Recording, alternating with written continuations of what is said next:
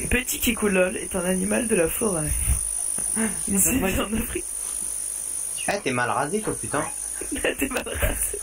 T'es mal- Le mec, il me fait peur. Mac, comment il tient son couteau, on dirait il va nous planter. Avec ton Eh, sourire. j'arrive à voir que.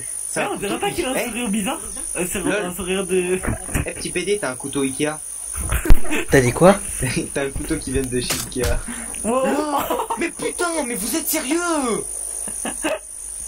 Non, mais sérieux, c'est pas marrant La vie de ma mère, je te retue.